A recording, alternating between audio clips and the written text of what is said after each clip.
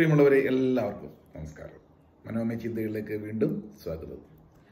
ഇത് നമ്മുടെ ഈ ഒരു സെഗ്മെന്റിലെ മൂന്നാമത്തെ സെക്ഷനാണ് ദാമ്പത്യ ജീവിതം അല്ലെങ്കിൽ കുടുംബ ജീവിതം തകരുന്നത് എന്തുകൊണ്ട് എന്നുള്ള വിഷയം. കഴിഞ്ഞ സെക്ഷനിനകത്ത് നമ്മൾ ചില പോയിന്റുകൾ മനസ്സിലാക്കി അടുത്തയിലേക്ക് കിടക്കണം നമ്മളറിയാനുള്ളത് എപ്പോഴും ജീവിത പങ്കാളിയെ സംബന്ധിച്ച് ഒരുപാട് പ്രതീക്ഷകൾ വെച്ച് പുലർത്തിക്കൊണ്ടാണ് ഓരോരുത്തരും ആ ഒരു ജീവിതം തുടങ്ങുക. ഞാൻ പറഞ്ഞു വിവാഹം എന്ന് പറയുന്നത് കുടുംബജീവിതം തുടങ്ങുക എന്ന് പറയുന്നത് രണ്ടാം ജന്മം പോലെയാണ് ഓരോരുത്തർക്കും.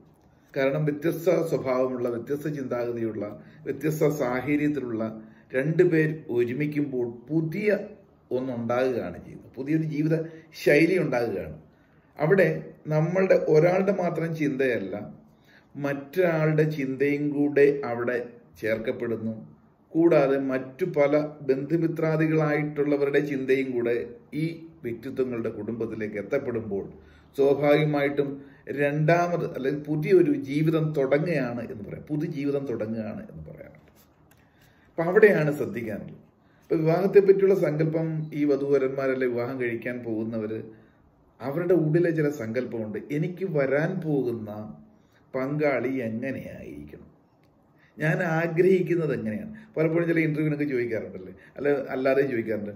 ഈ വിവാഹം കഴിക്കുമെങ്കിൽ പയ്യനെ പറ്റിയുള്ള നിന്റെ സങ്കല്പം എന്താണ്? എന്ന് പെൺകുട്ടിയോട് ചോദിക്കും. അത് കണക്ക് ആൺകുട്ടികളും പറയാറുണ്ട്. എന്റെ ഭാര്യയെ സംബന്ധിച്ചുള്ള ഞാൻ കെട്ടില്ലാൻ കഴിക്കാൻ പോകുന്ന പെണ്ണിന് എനിക്ക് ചില സങ്കല്പങ്ങളുണ്ട്.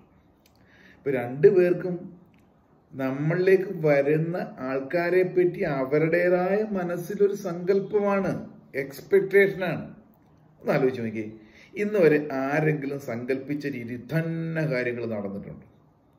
നമ്മൾക്ക് മനസ്സിൽ ഭാവനകൾ ഒരുപാട് വിരിക്കാം ഒരു കാര്യം മനസ്സിലാക്കുക എവരി പേഴ്സൺ ഈസ് യൂണിക് എന്ന് പറഞ്ഞാൽ എല്ലാ വ്യക്തികളും വ്യത്യസ്തരാണ്.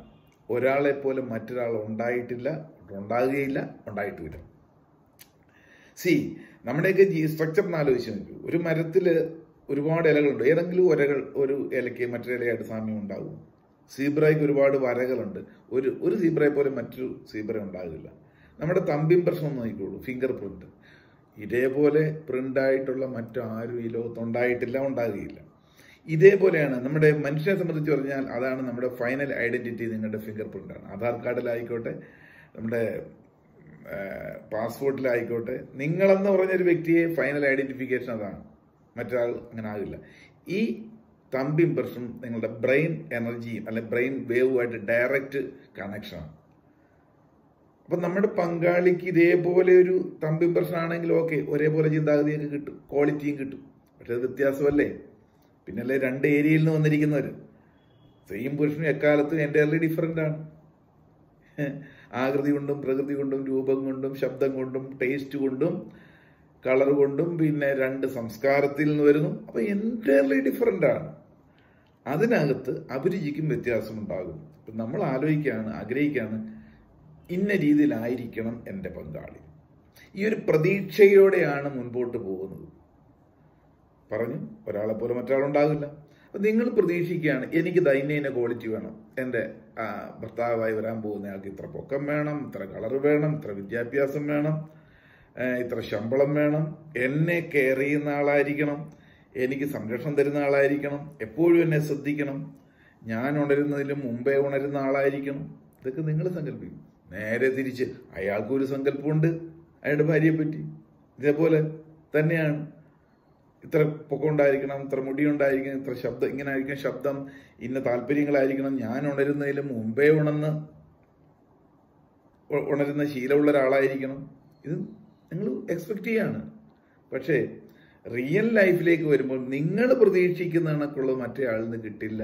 Because every person is unique അവിടെ ആ സങ്കല്പം തകരുകയാണ്. എക്സ്പെക്ടേഷൻ തകരുകയാണ്. അപ്പം ഈ പറയുന്ന ക്വാളിറ്റിയൊക്കെ നിങ്ങൾ പറയുന്നു പങ്കാളിക്ക് ഇത്രയൊക്കെ ക്വാളിറ്റി ഉണ്ട് ഇത് നിങ്ങൾ അയാൾക്ക് കൊടുക്കാൻ തയ്യാറുണ്ടോ? ഇപ്പം നിങ്ങൾ ഈ പറഞ്ഞ ഭാര്യയെ ഭാര്യയെ പറ്റിയുള്ള സങ്കല്പം അല്ലെ ഭർത്താവിനെ പറ്റിയുള്ള സങ്കല്പം നിങ്ങൾ കാണിക്കുന്നത് ഇതേപോലെ അയാൾക്ക് കൊടുക്കാൻ നിങ്ങൾ തയ്യാറുണ്ടോ? അതിനാണോ നിങ്ങൾ കല്യാണം കഴിക്കുന്നതെങ്കിൽ സക്സസ് ആകും നേരെ മറിച്ച് വിവാഹം കഴിക്കുന്നതിന് മുമ്പ് എന്റെ ഡിമാൻഡ് ഇന്ന കാര്യങ്ങളാണ് അത് തിരികെ കിട്ടണം. ചുരുക്കം പറഞ്ഞാൽ വാങ്ങാൻ ഉള്ള ആൾ എങ്ങനെയാണ് കൈ നീട്ടിയല്ലേ നിൽക്കുന്നത്? യാചകനെ പോലെ സ്നേഹം താ തരൂ. ഇത് കൊടുക്കാൻ നിങ്ങൾ സന്നദ്ധരാണോ പലപ്പോഴും എന്റെ അടുത്ത് കൺസൾട്ടേഷൻ വരുന്നവരോട് ഞാൻ ചോദിക്കാറുണ്ട് ഇതേപോലെ ഈ പ്രീ മാരിജൽ കൗൺസിലിങ്ങിന് വരാറുണ്ട്. ദമ്പതികൾ വിവാഹം കഴിക്കാൻ പോകുന്ന കുട്ടികളെയും കൊണ്ട് പേരൻസ് വരാറുണ്ട് അല്ലെ സ്വമേധ വരാറുണ്ട്. അപ്പോൾ പരസ്പരം കുറേ സമയം കേൾക്കും ഇവരുടെ പൊതുവായിട്ടുള്ള ചില ആറ്റിറ്റ്യൂഡുകൾ ഇതിനെ നമ്മൾ മെന്റൽ സ്റ്റാറ്റസ് എക്സാമിനേഷൻ എന്ന് പറയും. ജാതകം നോക്കുന്നതിനകത്തല്ല കാര്യം. ഈ മനസ്സിന്റെ പൊരുത്തം എങ്ങനെയെന്ന് അറിയുന്നതിന് വേണ്ടിയിട്ടാണ് ഈ സയന്റിഫിക് ആയിട്ട് ഈ ഒരു സ്റ്റഡി നടത്തുന്നത്. പുറമേ കണ്ട കണക്കൊന്നുമല്ല mental status M S C എടുക്കുക മെന്റൽ സ്റ്റാറ്റസ് എക്സാമിനേഷൻ എടുക്കുമ്പോൾ അറിയാൻ സാധിക്കും. ഇവരുടെ ആത്യന്തികമായിട്ടുള്ള അഭിരുചി എന്താണ്? ഇതിന് ഏകദേശം മാച്ചാണെങ്കിൽ മാത്രം നമ്മൾ ഓക്കെ പറയാറുള്ളൂ. മറ്റുള്ള എല്ലാം ഇപ്പോൾ പറയുന്ന ഒന്നും വിശ്വസിക്കാൻ പറ്റില്ല. അപ്പം അതിലേക്ക് പോകുമ്പോൾ ഒരാൾക്ക് ഇന്ന ഇന്ന അഭിരുചിയാണ് പറഞ്ഞേക്കാം. പക്ഷെ ഉള്ളിന്റെ ഉള്ളിൽ എന്തെന്നൊരു മനഃശാസ്ത്രജ്ഞന് കണ്ടുപിടിക്കാൻ പറ്റും. അത് കറക്റ്റായ രീതിയിലാണെങ്കിൽ മുന്നോട്ട് പോകാൻ പറ്റും.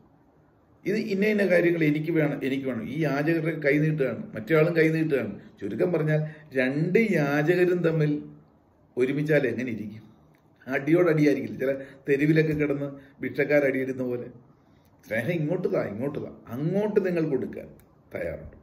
ഞാനിപ്പോൾ പലപ്പോഴും എന്നെ സമീപിക്കുന്ന ഈ പ്രീമാരിച്ചൽ കൗൺസിലിങ്ങിന് വരുന്ന വിവാഹപൂർവ കൗൺസിലിംഗ് വരുന്നവരോട് ഇങ്ങനെ ചോദിക്കാറുണ്ട്. രണ്ടുപേരെയും മാറ്റിയിരുത്തും. ഒരാളെ ആദ്യം വിളിക്കും. എന്നിട്ട് ചോദിക്കും അവൻ നിന്നെ സ്നേഹിച്ചില്ലേലും അയാൾ നിന്നെ സ്നേഹിച്ചില്ലേലും തനിക്ക് അയാളെ സ്നേഹിക്കാൻ പറ്റുമോ സ്നേഹം ഒട്ടും കിട്ടത്തില്ലാത്ത സന്ദർഭം ഉണ്ടായെന്നിരിക്കാൻ ജീവിതത്തിൽ. അപ്പൊ ഇപ്പൊ കാണിച്ച ഈ സ്നേഹമൊന്നും ഇപ്പൊ ആരോടും അയക്ക് സ്നേഹമില്ല നിന്നോട് മാത്രമാണ്. വിവാഹ ജീവിതത്തിലോട്ട് കിടക്കുമ്പോൾ റിയൽ പ്രാക്ടിക്കൽ ലൈഫിലോട്ട് അവൻ നിന്നെ സ്നേഹിച്ചില്ലെങ്കിലും സ്നേഹിക്കാനുള്ള സമയം കിട്ടിയില്ലെങ്കിലും തിരിച്ച് സ്നേഹിക്കാൻ സ്നേഹം കൊടുക്കാൻ പറ്റുമോ എന്ന് ചോദിച്ചാൽ ഈ പെൺകുട്ടിയൊന്നും ആലോചിക്കും. അതങ്ങനെ ശരിയാണ് എന്നെ സ്നേഹിക്കാതെ ഞാൻ ഞാനങ്ങോട്ട് തിരിച്ചു കൊടുക്കുന്നത് അവിടെ ഒരു കണക്ക് വന്നിട്ടുണ്ട്. ഓക്കെ ഓക്കെ റെഡി റെഡി ഇവിടെ മാറ്റി നിർത്തി. പയ്യനെ വിളിക്കാം പയ്യനെ വിളിച്ചിട്ട് എങ്ങനെയുണ്ട് നിങ്ങളുടെ റിലേഷനൊക്കെ ആ നല്ല ഭംഗിയായിട്ട് പോകുന്നു സാറേ. ഭയങ്കര ആത്മാർത്ഥതയുള്ള കുട്ടിയെ. ഞാൻ ആഗ്രഹിച്ചതുപോലെ തന്നെയുള്ളവൾ ഇത്രയും നാളത്തേത് എത്ര നാളായി പരിചയമുണ്ട്? ഒരു വർഷമായിട്ട് അല്ലെ രണ്ട് വർഷമായിട്ട് അല്ലെ ആറ് മാസമായിട്ട്. വട്ടോ ടീച്ചർ ഇത്രയും നാളിനിടയ്ക്ക് ഞാൻ മനസ്സിൽ കണ്ട സങ്കല്പത്തിലുള്ള കുട്ടി. അപ്പോൾ ഞാൻ അയാളോടും ചോദിക്കാറുണ്ട്. ഓക്കെ ജീവിതമൊക്കെ മുന്നോട്ട് പോകെ പോകെ. അവൾ നിന്നെ സ്നേഹിച്ചില്ലെങ്കിലും നിനക്ക് അവളെ സ്നേഹിക്കാൻ പറ്റുമോ ഒട്ടും സ്നേഹം കിട്ടില്ലെന്ന് വിചാരിച്ചു. തിരിച്ച് സ്നേഹിക്കാൻ ഉള്ള മനസ്സുണ്ടോ? അത് നടക്കത്തില്ല. അതെങ്ങനെ ചെയ്യാന്ന്? സ്നേഹം അങ്ങോട്ടും ഇങ്ങോട്ടും വേണ്ടേ സാറേ? ഒരു പാലവിട്ട അങ്ങോട്ടും ഇങ്ങോട്ടും വേണ്ടേ? അവിടെ തൊട്ട് മനസ്സിൽ പറയാൻ സാധിക്കും. അങ്ങനെ ഇവരോട് പറയാറുണ്ട് നിങ്ങൾ ഇതിൽ നിന്ന് മുതിരാതിരിക്കുകയാണ് നല്ലത്. അപ്പൊ എന്ത് ചെയ്യണം? ചെയ്യണമെങ്കിൽ ചില കാര്യങ്ങൾ പഠിച്ചിട്ട് മുൻപോട്ട് വിടും. ചില കാര്യങ്ങൾ അറിഞ്ഞ ശേഷം മുന്നോട്ട് വിടും. ഇപ്പൊ ഡ്രൈവിംഗ് പഠിക്കാതെ ഡ്രൈവ് ചെയ്യാതുള്ള അവസ്ഥ എന്താണ്? വിവാഹം എന്ന് പറയുന്നത് മനോഹരമായ ഒരു ഗിഫ്റ്റാണ് ഓരോരുത്തർക്കും ലഭിക്കുന്നത്. വിവാഹദിനം. രണ്ടുപേർക്കും കിട്ടുന്ന സമ്മാനമാണ് പങ്കാളി എന്ന് പറയുന്നത്. മുമ്പ് പറഞ്ഞു ഓരോരുത്തരുടെയും രണ്ടാം ജന്മമാണ്. ഈ ഏറ്റവും മനോഹരമായ വിലപിടിപ്പുള്ള സമ്മാനം കിട്ടുന്നു. വർണക്കടലാസിൽ പൊതിഞ്ഞാണ് രണ്ടുപേരെ ഒരുമിപ്പിക്കുന്നത് അല്ലെ? പുതിയ മോഡിയിലാണ്. ഈ വർണക്കടലാസും വർണപ്പകിട്ടുമൊക്കെ കുറഞ്ഞു കുറഞ്ഞു വരുമ്പോഴേ റിയാലിറ്റി മനസ്സിലാകത്തുള്ളൂ. ഈ പൊതിക്കകത്തിരുന്നത് എന്തായിരുന്നു എന്നുള്ളത്. പൊട്ടിയ ഫ്ലാസ്ക് ആയിരിക്കും പലപ്പോഴും. അതൊക്കെ കാലങ്ങൾ കഴിയുമ്പോഴത്തേക്കാണ് പ്രശ്നങ്ങൾ. ആ എക്സ്പെക്ടേഷൻ മുഴുവൻ തകിടം പറയും അപ്പൊ ഇതൊന്ന് ഈ യാഥാർത്ഥ്യത്തിലേക്ക് കിടക്കുന്നതിന് മുമ്പ് ഇപ്പൊ നിങ്ങൾക്ക് മനോഹരമായ ഒരു ബെൻസ് കാറ് കിട്ടി. വിലപിടിപ്പുള്ളതാണ് സമ്മാനം. കല്യാണത്തിന് കിട്ടിയതാണ് അല്ലേ? പക്ഷെ ഓടിക്കാൻ അറിയാൻ പാടില്ലല്ലോ. അത് ഇടിച്ച് തകരും. തട്ടലും മുട്ടലും ഉണ്ടാകും. എഞ്ചിൻ മാറ്റി വെക്കേണ്ടി വരും. പിന്നെ അത് ഉപേക്ഷിക്കേണ്ടി വരും. അപ്പൊ ഇത്രയും വിലപിടിപ്പുള്ള പ്രഷ്യസ് ആയിട്ടൊരു ഗിഫ്റ്റാണ് ഓരോരുത്തരും കതിർമണ്ഡപത്തിലേക്ക് പ്രവേശിക്കുമ്പോൾ ലഭിക്കുന്നത്. അത് കൈകാര്യം ചെയ്യാനുള്ളൊരു ആർജവം പാഠവും മറ്റുള്ള എല്ലാം പഠിച്ചിട്ടുണ്ട്. ഒരു പക്ഷേ ഇവർ ഒന്നിച്ചിരിക്കുന്ന ഒരു വിദ്യാഭ്യാസം ഇല്ലാത്തവരല്ല ബിടെക്കും എം ബി എയും ഡോക്ടറും എഞ്ചിനീയറും ഒക്കെയാണ്. പക്ഷേ പ്രാക്ടിക്കലി മനുഷ്യ മനസ്സിനോടൊപ്പം ജീവിക്കേണ്ട അറിയാതെ മറ്റെന്ത് പഠിച്ചിട്ട് എന്ത് കാര്യം? ഇപ്പം ഈ വിവാഹബന്ധങ്ങൾ വേർപെടുത്തുന്ന സംഭവങ്ങളും ഡൈവോഴ്സുകളൊക്കെ അധികരിച്ച് വന്നിരിക്കുമ്പോഴെല്ലാം ഒന്നും വിദ്യാഭ്യാസം ഇല്ലാത്തവരല്ല ഹയർ പ്രൊഫൈലുള്ളവരാണ് അതല്ല അറിയേണ്ട കാര്യങ്ങൾ അറിയാതെ ഒരു സ്റ്റെപ്പ് മുന്നോട്ടെടുക്കുന്നതുകൊണ്ടാണ്.